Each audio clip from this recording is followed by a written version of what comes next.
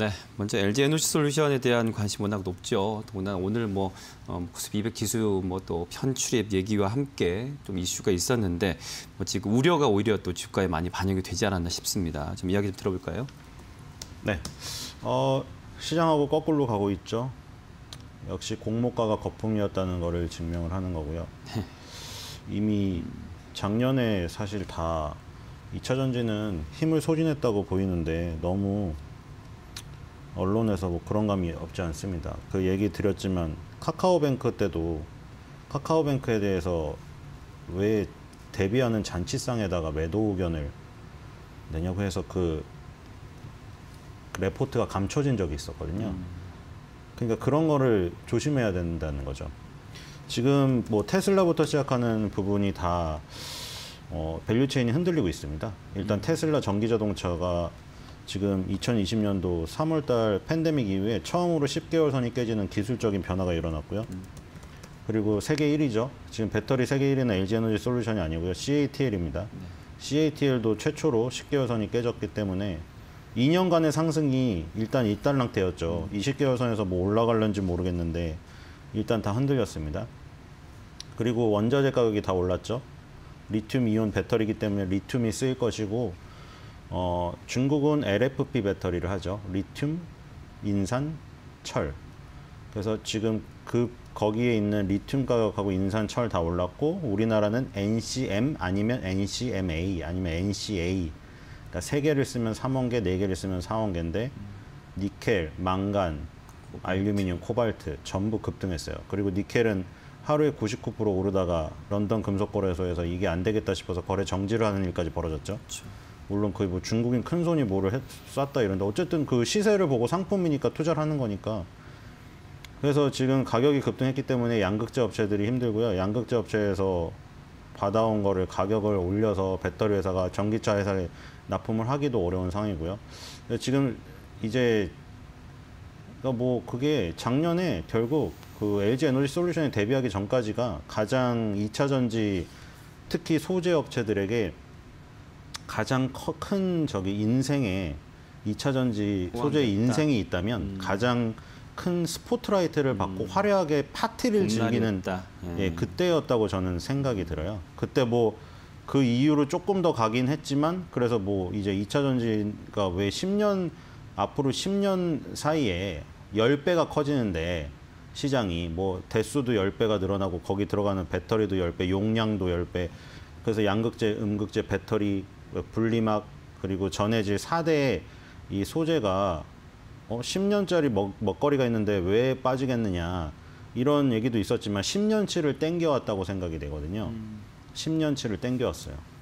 그래서 지금 LG 에너지 솔루션의 대비는 거의 그 마지막에 이제 모든 그 저기 뭐 저기로 따지면은 공연으로 따지면은 모든 출연진이 다 나온 가운데 맨 마지막에 그 주인공이 딱 나와가지고 인사를 하고 딱 들어가려는데 딱 그 딱 그 인사는 딱 그 장면만 딱 보고 와 이거 축제 분위기구나 하고 딱 사버린 거죠. 그 손을 잡아버린 거죠.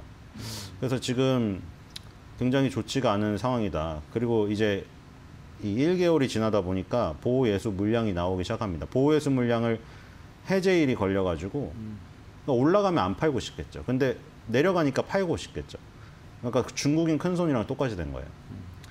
그 시세가 있으면은 거기에 매도에 매도를 부르면 계속 더 매도가 나오는 거고 상승세면은 매수에 매수를 벌여서 더 폭등하는 거예요. 그렇게 니켈처럼. LG 에너지 솔루션은 지금 바닥이 붕괴됐기 때문에 그 보호 예수 물량이 나오면 그 기관의 매물을 보고 저기를 합니다. 추경 매도를 합니다.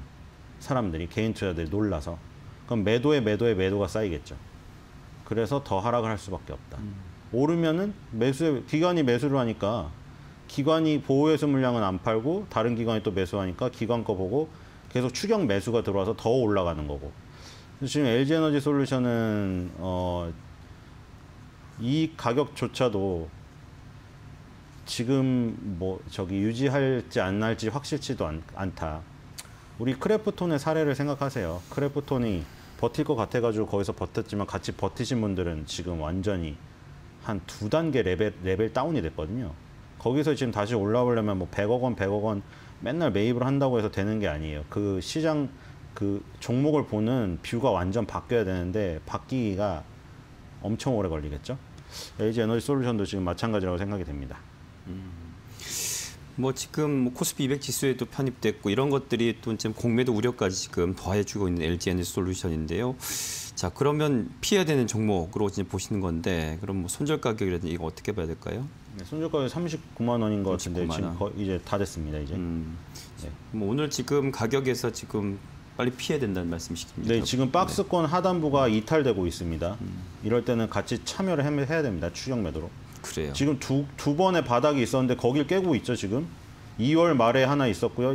이 3월 여기 초에 지금 하나 있죠, 여기. 여기 두 개가 지지가 되었었는데 여기를 지금 실망 매물벽을 그 뚫고 지지벽을 뚫고 내려가기 때문에 이러면 실망 매물이 더 쏟아지게 되어 있어요. 믿었던 자리가 무너졌으니까요, 지금.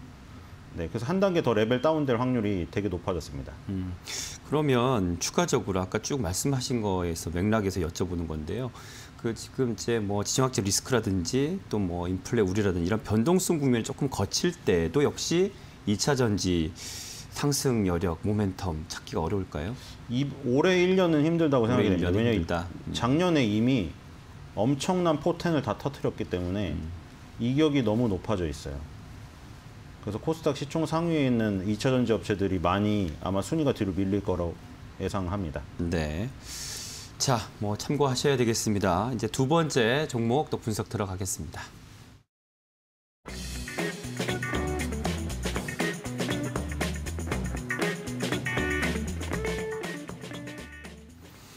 포스코 케미칼 뭐 현재까지 3%대 지금 빠지고 있습니다.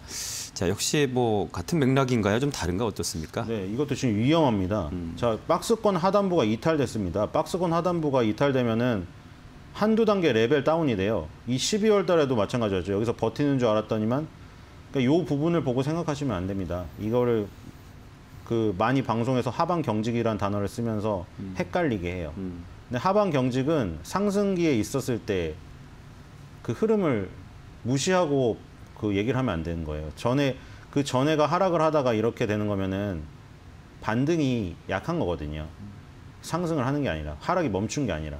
그 다운 됐죠. 그리고 또 이제 박스권이죠. 근데 박스 하단부 또 무너졌죠. 그또 한두 단계 레벨 다운이 될 수가 있어요. 그럼 이제 주봉 월봉이 만약 상승 추세라면 일봉은 잠깐의 그 부분이니까 넘길 수 있잖아요.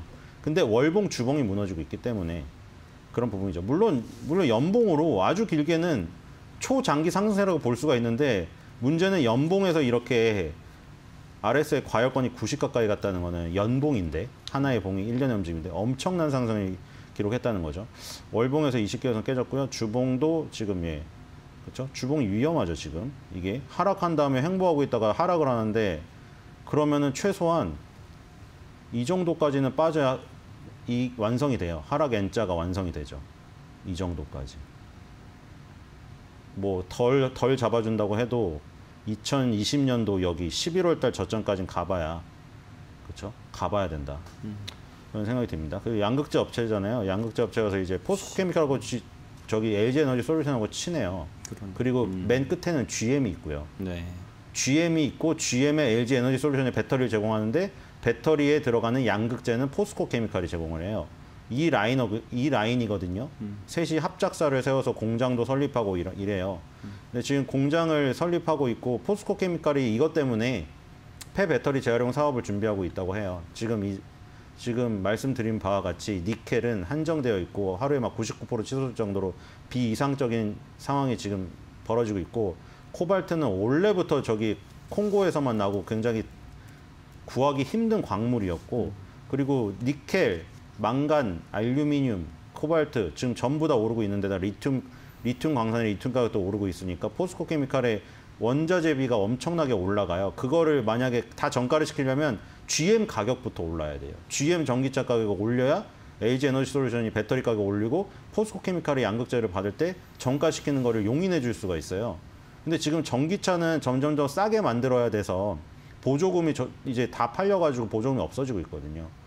그래서 포스코 케미칼이 이것 때문에 배터리 내재화를 한다고 그 양극재 내재화를 한다고 지금 배터리 폐배터리를 빼가지고 재활용해서 거기서 금속을 다시 빼낸 다음에 다시 배터리를 만들어서 아, 양극재를 제조해서 LG 에너지 솔루션에 납품하는 그 구조를 만든다고 하는데 그 구조가 지금 완성이 되지 않은 상태에서 이 사태를 맞이한 거예요.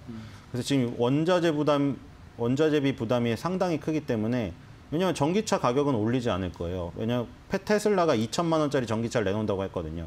그래서 NCMA, NCM을 안 쓰고 중국의 LFP 배터리를 쓴다고 해서 중국의 CATL 가, 주가가 올랐던 거예요. 근데 테슬라가 2천만 원, 테슬라가 지금 전기차에서 1위니까 2천만 원짜리 전기차를 출시하면은 다른 후발주자 전기차가 뭐 우리가 NCMA, NCA를 썼으니까 더 테슬라보다 비싸게 팔겠다. 그럼 다 테슬라 사겠죠. 테슬라가 지금 솔직히 디자인부터 다 압도적이기 때문에 테슬라를 먼저 삽니다. 테슬라가 전기차 가격을 낮추는 한 다른 데서 올릴 수가 없어요. 점유율이 깎이기 때문에. 그래서 지금 테슬라 발 요 그 전기차 가격 하락은 이 여기 소재 업체들 밑에 이게 그냥 잘 될 때는 다 좋다고 했잖아요. 안 될 때가 문제지. 그러니까 갑을 관계가 잘 될 때는 서로 도와주는 관계가 되는데 이렇게 쪼이고 생활이 힘들어지잖아요. 그러면 갑에서 을로 내려가는 이 단가 후려치기가 나오게 돼요. 그때부터는 이제 그거 그걸 조심해야 되는 그걸 우려로 해야 되는 상황으로 지금 다 잘 될 때가 지났습니다. 그래서 지금은 다들 이제 밑단에 있는 사람들이 힘들어하는 어, 것이 되기 때문에 좀 일단은 저기 해야 될 것 같아요. 실적이랑은 상관이 없습니다 지금. 네.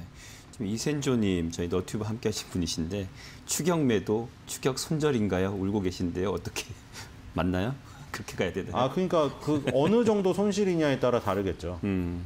어느 정도 손실 손실이 막 2, 30%면은 팔 팔아서 손실 확정하면 너무 크니까 그거 내비두고 다른 걸로 수익을 지금 건자재나 뭐 with 코로나 수혜주 있죠. 이런 걸로 해, 저기 수익을 얻어 가지고 손실을 상쇄시킨 다음에 요런 주식에 있는 주식 비중을 계속 줄이는 방법.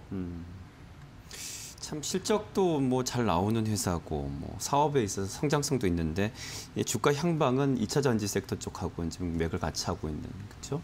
뭐 이거를 저가 매수 기회로 생각하시는 분이 계시다면은 어 뭐 분할 매수를 하셔가지고 더 비중을 실어서 여기서 뭐 만회하려는 그런 전략을 세울 수도 있는데 뭐 여러 의견이 있잖아요. 네. 제 의견을 다 하지 말고 그 여러분들이 판단하셔서 하는 건데 저는 2차 전지는 이제 일단 최소한 올해 1년은 힘들고 음. 앞으로도 지금 이제는 원가 부담 때문에 굉장히 힘들다. 오히려 이걸 만약에 2차 전지를 노릴 거라면 폐배터리를 가는 게 나을 것 같다는. 한발 자. 빨리 가야 돼. 지금 전기차는 이제 깔리기 시작했고, 근데 2, 3년 뒤면 이미 배터리 수명이 닳아가지고 충전을 해도 별로 못 가는 상황이 발생될 거예요. 그럼 전, 전기차 소유주들은 배터리를 차값 한 대를 주고 사야 돼요. 근데 그 폐배터리는 어디로 가냐? 재활용 폐차장에서 재활용 센터로 가기 때문에 그거 거기 사업을 노려보는 게 좀더 낫다. 이미 갈 때까지 갔어요. 뭐가 그래요. 갈 때까지 갔냐면 양극재가 4, 50% 배터리의 원가 비중의 4, 50%를 차지하고 음극재가 15% 정도. 그 다음에 분리막, 전해질 해가지고 이제 다 합치면은 대부분의 그 저기를 차지하는데 요 지금 그 저 무슨 말을 하다 했죠? 그래서 길을 잃었습니다. 그래서 지금 예, 어쨌든 지금 2차 전지 관련주는 네. 이미 포텐을 아 그래서 그 얘기하려고 했어요. 양극재, 음극재 거기가 거의 다 90%를 차지하고 아까 4대 소재가 네. 나머지 그 5% 미만이 막 그 플러스 극에 입히는 알박 뭐 마이너스 극에 입히는 동박 이런 거 있잖아요. 시가총이 엄청 작은 애들 있거든요. 네. 그런 것까지 다 잡아 가지고 엄청 갔잖아요. 그걸 막 끝까지 찾아낸 거예요. 소재의 막 비중이 엄청 작은 작은 종목까지 찾아내서 간 거예요 지금. 그랬죠. 돌 만큼 네. 다돈 거예요 정말. 음. 왜냐면 2차 전지 소재주 뭐 안 간 거 있냐 막 찾기 운동 벌어졌잖아요 작년 말에 찾아가지고 찾아가지고 무슨 금속 음. 만들고 있는 기업인데 이거 2차 전지 관련주다 또 얘는 무슨 산업하고 있는데 요거 2차 전지랑 관련이 있다 해가지고 죄다 올렸어요 죄다 그냥 막 구석에 숨어 있는 막 쥐처럼 쥐구멍에 숨어 있는 애까지 찾아내서 다 올렸어요 그리고 에코프로비엠은 코스닥 1위에 올랐고요 시가총에 네, 맞아요. 그러니까 이미 그런 것들이 10년치를 땡겨가지고 작년 1년에다가 한 번 다 쏟아 부었기 때문에 음. 이제는 다 조정을 받아야 될 시기가 왔다. 그래요. 그렇게 생각이 됩니다. 어, 뭐 이제 2차 전지 섹터 관련한 뭐 소재까지 다 해서 빠른 순환매가 이루어졌고 그 안에서 이제 사실 단물은 다 빠지지 않았을까 이렇게 좀 보고 계시는 측면들 그래서 앞으로 1년은 좀 힘들지 않겠는가 어, 좀 비중 줄이는 게 어떻겠는가 또 이런 매력적인 다른 섹터에서 좀 탈출구 또 희망을 찾아야 되지 않겠는가 이렇게 좀 정리하면 될 것 같습니다. 자 오늘 어, 와이라노 함께하신 분은 벤자민 투자연구소의 신일섭 소장과 함께했습니다. 자 오늘 말씀 고맙습니다. 네,